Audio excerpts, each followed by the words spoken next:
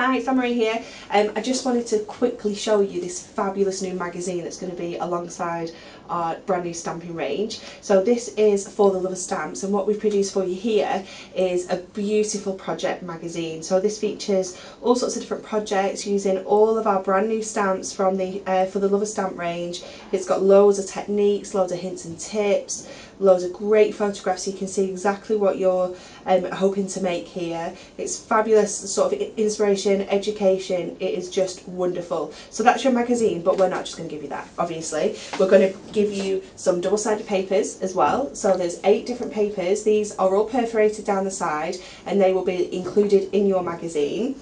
On top of that, we're then going to give you some stamping mats. So these are perfectly sized to fit on your gold and silver here, so you can do your own little stamping projects. And then we're also going to give you this fabulous stamp set. So this is exclusive to the magazine. This is um, it's called Brighten Your Day. It's got all sorts of lovely weather related things on there. So we've got the rainbows, we've got sunshine, we've got clouds, we've got little wellies. It's just fabulous. And all of that is going to be available for just £10.